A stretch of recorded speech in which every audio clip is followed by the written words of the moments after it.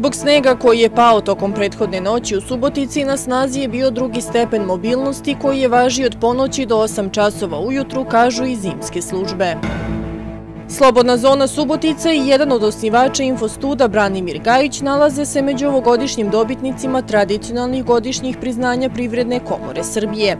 Na svečanosti upriličenoj u Beogradu Slobodna zona nagrađena je za ostvareni poslovni uspeh, dok je Gajić nagrađen u kategoriji poslovnih lidera. U Zološkom vrtu na Paliću u subotu je mužijak persijskog leoparda usmrtio ženku prilikom parenja. U prostorijama Crvenog krsta u subotu je održana tradicionalna akcija dobrovoljnog davanja krvi Humani Božić. Odbojkašice Spartaka slavile su u Beogradu protiv Partizana, dok su odbojkaši na svom terenu bili bolji od ekipe Karadžorđe.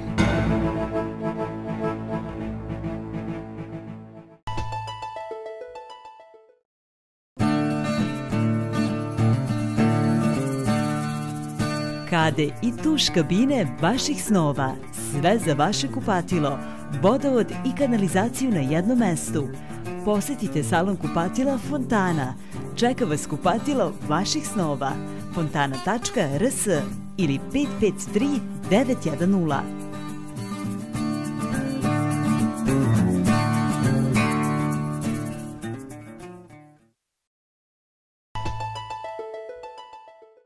Dobroveče, poštovani gledaoci, ja sam Milica Jeremić, a vi pratite Infoblog i Eko televizije. Zbog snega koji je pao tokom prethodne noći u Subotici, na snazi je bio drugi stepen mobilnosti, koji je važio od ponoći do 8 časova ujutru, kažu i zimske službe. Ekipa je bila angažovana usled niskih temperatura i vlažnih kolovoza na koje je posuto oko 100 tona soli kako bi se sprečila pojava leda. U akciji posipanja soli po kolovozu učestvovalo je osam kiper kamiona, sedam manjih specijalizovanih vozila i 45 radnika, kaže Damir Grbić, rukovodilac zimske službe i dodaje da je tokom akcije na puteve posuto 100 tona soli. U toku protekle noći u Subotici je padao sneg.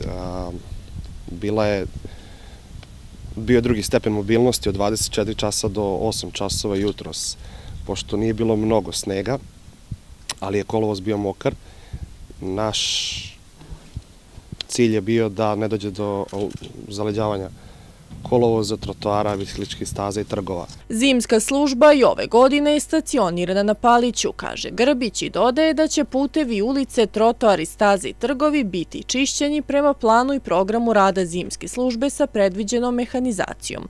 Svi kamioni opremljeni su solarama, dodaje sagovornik i objašnjava da će se so koristiti za posipanje puteva u gradu kako bi se izbeglo zapušavanje kanalizacije rizlom. Van naseljenog mesta se koristi kombinacija soli, i rizle. Ove godine je nabavljeno 1300 tona soli i 1300 tona rizle.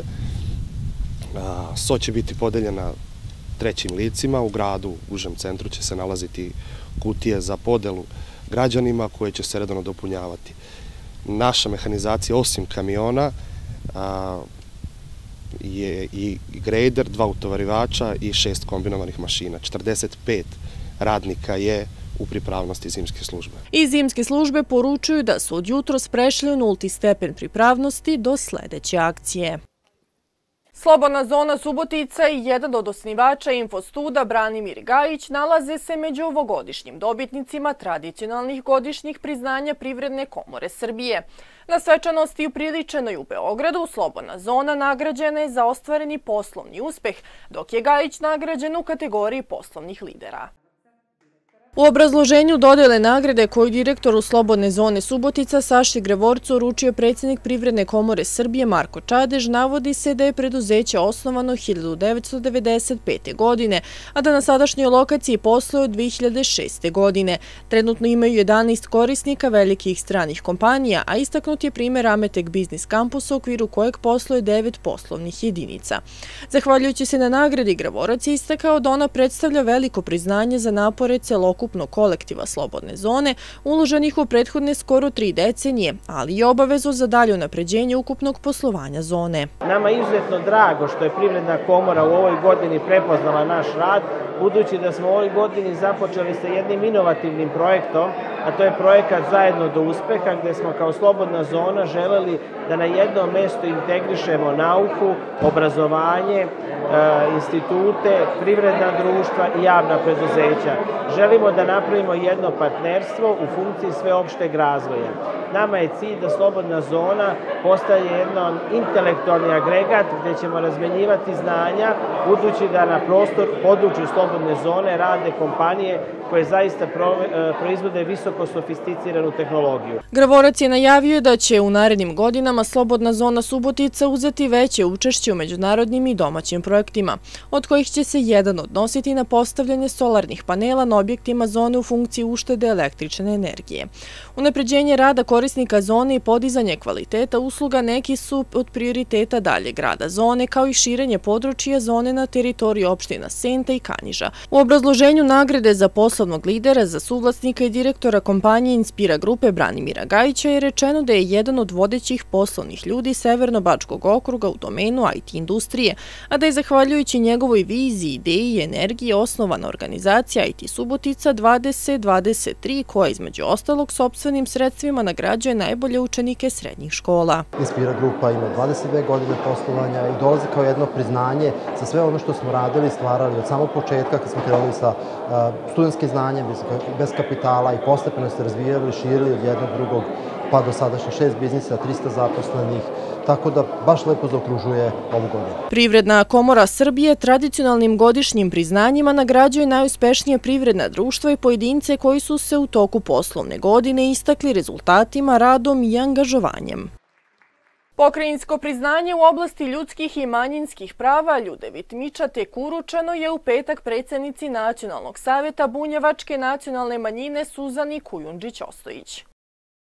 Razlog da 10. decembar bude datum od pokrajinskog značaja bila je najšira saglasnost da upravo autonomna pokrajina Vojvodine i cijela Republika Srbija jesu primjer poštovanja svih prava sadržanih u Univerzalnoj deklaraciji o ljudskim pravima iz 1948. godine. Vojvodina je mesto skladnog zajedničkog života, ravnopravnih ljudi, ravnopravnih nacije i ravnopravnih konfesije, mesto vekovima građane i brižno čuvane tolerancije, kao i međusobnog preplitanja različitih kulturoloških obrazaca, izjavio je predsjednik pokrajinske vlade Igor Mirović. Pokrajinsko priznanje za ljudska i manjinska prava izraz je i poštovanje i omaž Ljudevitu Miča, teku doktoru prava, uglednom advokatu, intelektualcu, novinaru i pokretaču časopisa Dolnozemski Slovak, jednom od osam predsjednika Velike narodne skupštine na kojoj je 25. novembra 1918. doneta odluka o prisajedinjenju Vojvodine Kraljevini Srbiji. Ovo priznanje je izuzetno značajno za mene i moj dugogodišnji rad, ali i bunjevcima koji se vekovima bore za svoj identitet, a u tom nastojanju uvek smo imali podršku pokrajinske vlade, izjavila je Suzana Kujundžić-Ostojić.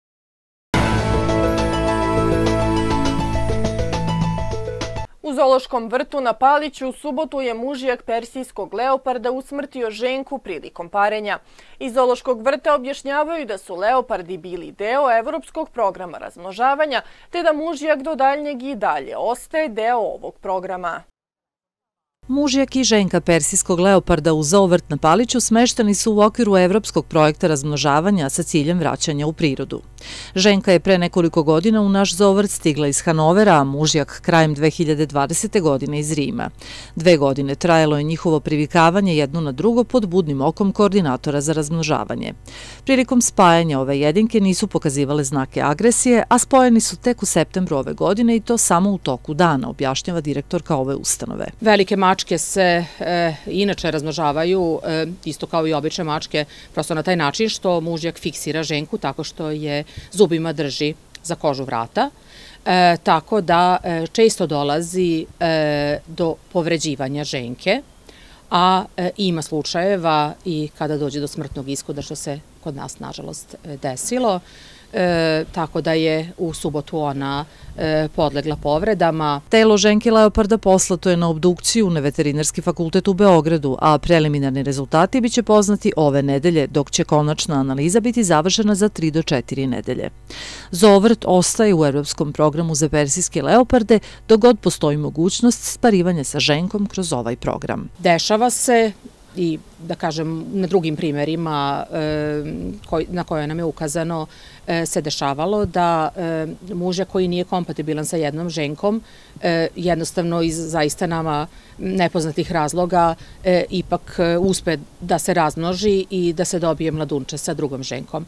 Da li će to se desiti kod nas u Zološkom vrtu ili će Simba drugu ženku naći u nekom drugom Zološkom vrtu, to trenutno ne možemo da kažemo. U zaovrtu na Paliću u novembru se dogodio slučaj da je piton dužina jednog metra koji je stigao u prihvatilište iz zaplene usmrtio majmuna Tamarina koji se nalazio u istom objektu u kojem su bili smešteni i majmuni ove vrste. Tokom prošle nedelje na području policijske uprave u Subotici dogodilo se 19 saobraćenih nezgoda. U 11 saobraćenih nezgoda jedna osoba je poginula, četiri osobe su teže povređene i devet osoba je lakše povređeno, dok je u osam saobraćenih nezgoda pričinjena samo materijalna šteta. Policija je podnela 98 zahteva za pokretanje prekršenog postupka. Izdato je 757 prekršenih naloga i saobraćaj isključeno 107 vozača, od kojih je za 30 vozača određena mera zadržavanja zbog teške ili potpune alkoholisanosti. Pripadnici odeljenja za vanredne situacije u Subotici imali su 11 intervencija.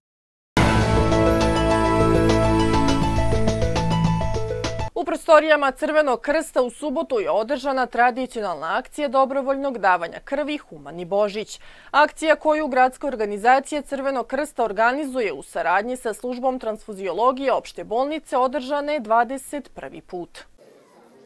Najbolji primjer humanosti je porodica Miomira Jovanića Žakija koji je postao dobrovoljni davalac još kao srednjoškolac u medicinskoj školi. Sljedeći primjer oca i njegovo troje dece sada su dobrovoljni davaoci. Ovoga puta, pored čerke, na akciju su došle njegova dva unuka kako bi od najranijeg uzrasta shvatili značaj dobrovoljnog davalaštva. Sa čerkom i sa unucima Mihajlom i Milijom i čerka Višnjama je tu zajedno. Oni su davaoci krvi odnosno svo troje dece koje imaju su davaoci krvi, a danas smo došli nas dvoje samo. Pričali smo o tome prednjeg smo krenuli i tako dalje i vrlo su ovaj, slobodni, znači nemaju nikakvih ovaj, strahova od ovih situacija, malo nije baš prijatno, odnosno za praćenje, ali ovaj, razumeju. Humanost na delu pokazalo je 57 građana. Posle lekarskih kontrola 10 građana je odbijeno, pa je 47 dalo dragocenu tečnost, među kojima je bilo 20 žena.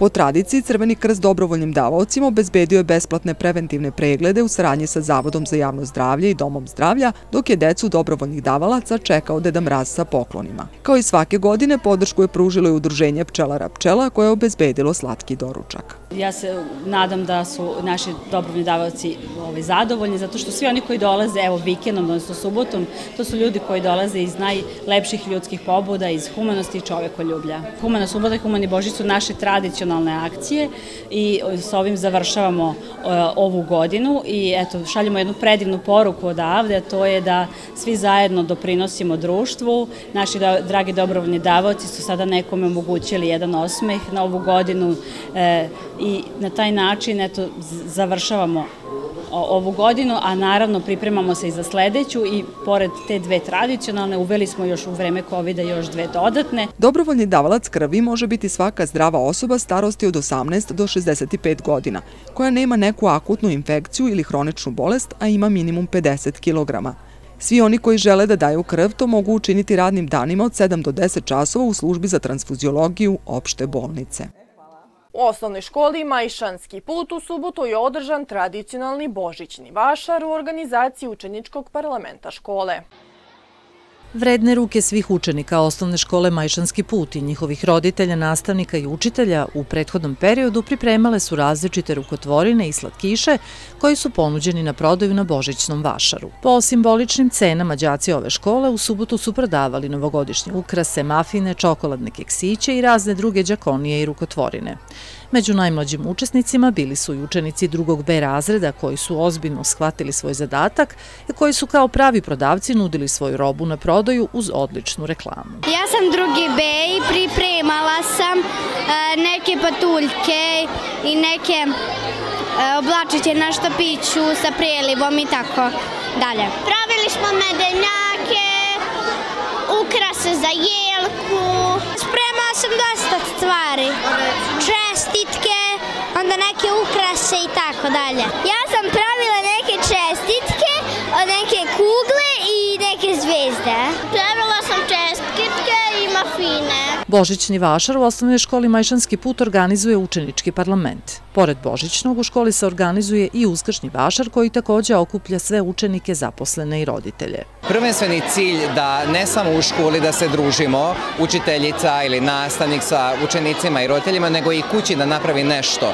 Da li su to kolači, da li su to neke rukotvorine i da malo da razvijemo preduzetništvo u školi, kako možemo prodavati, šta je marketing, šta je najbolja funkcija ovog para i naravno da razvijemo i to da to možemo u dobrotvorne svrhe da uplatimo neke novce. Deo sredstava prikupljenih novogodišnjem Božićnem vašaru biće upućen u humanitarne svrhe za lečenje obolelog učenika škole. Zbog radova na elektroenergetskom sistemu, jedan broj ulica sutra će biti privremeno isključen s elektromreže. U slučaju loših vremenskih prilika, radovi se odlažu. Od 8.30 do 14 časova struje neće biti u Bajmoku ulicama Mlinska brojevi 1, 3, 5, Petefi Šandora, Ive Lole Ribara od broja 1 do 5, JNA od broja 10 do 16, Gajeva, Žabnjak. Od 9 do 12 časova struje neće biti na Paliću Erne Lanija do broja 11, od 9 i 5 do 12 časova struje neće biti u Novom Žedniku, ulicama Hercegovačka Remije Bašića i Petra Drapšina sa okolnim salašima.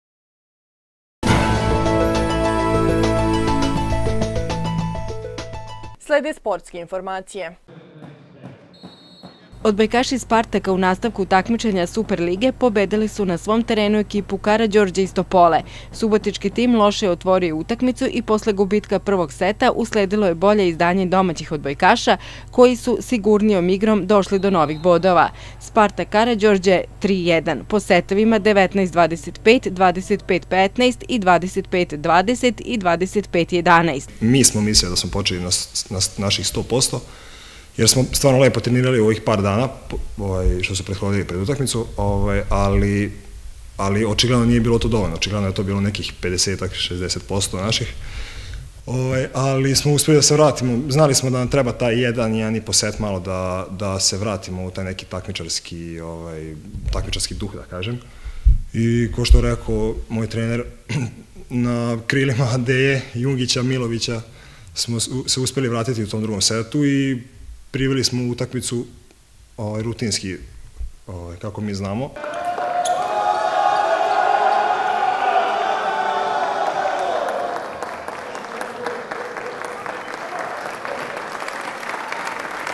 U nastavku takmičenja Košarkaške lige Srbije, košarkaši Spartaka na svom terenu ugostili su ekipu Slobode iz Užica. Subotički tim pobedio je sa 86 prema 79. Jako bitna pobjeda za nas. Nama je svaka pobjeda e, zlata vredna, što se kaže. U petak već idemo u Kraljevo i nadam se stvarno, e, e, ekipa je fenomenalna, fantastični su momci, atmosfera je stvarno dobra i nadam se samo da ćemo dobre rezultate postizati. Eto. Raspoložene za igru proteklog vikenda bile su i odbojkašice Spartaka koje su slavile u Beogradu. Ekipa Saleta Nedeljkovića pobedila je rezultatom 3-0. Ovo je treća uzastopno pobeda devojaka Spartaka. Od prvog do posljednjeg poena igračice Spartaka bile su te koje su na terenu delovale veoma motivisano i pobeda nije izostala. Planinarski savez Srbije obeležuje Međunarodni dan planina dodelom nagrada za rezultate ostvarene u tekućoj godini. Predsjednik Iso Planić čestitao je šampionima. Također Planić je ukazao na značaj zaštite očuvanja planinskih predela. Među deobitnicima našli su se i subotički planinari Nora Bognar, koja se bavi sportskim penjanjem na prirodnoj steni. Juniori Spartaka također su nagrađeni. Trener tekvondo kluba Galeb i reprezentacije Srbije Dragan Jović treći put je izabran za najboljeg trenera sveta. U poslednjih nekoliko godina takmičarke i takmičari u ovom sportu donose što više medalja sa svakog velikog takmičenja i sve je više najmlađi koji žele da se upoznaju sa ovim sportom.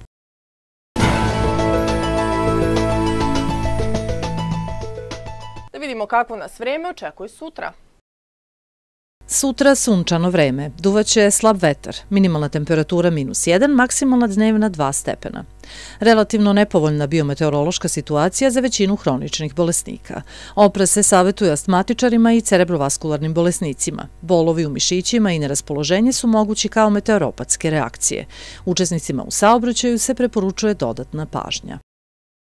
Još jednom gledamo najvažnije vesti. Zbog snega koji je pao tokom prethodne noći u Subotici na snazi je bio drugi stepen mobilnosti koji je važi od ponoći do 8 časova ujutru, kažu i zimske službe. Slobodna zona Subotica i jedan od osnivača Infostuda Branimir Gajić nalaze se među ovogodišnjim dobitnicima tradicionalnih godišnjih priznanja Privredne komore Srbije. Na svečanosti upriličenoj u Beogradu Slobodna zona nagrađena je za ostvareni poslovni uspeh, dok je Gajić nagrađen u kategoriji poslovnih lidera. U Zološkom vrtu na Paliću u subotu je mužijak persijskog leoparda usmrtio ženku prilikom parenja. U prostorijama Crvenog krsta u subotu je održana tradicionalna akcija dobrovoljnog davanja krvi Humani Božić.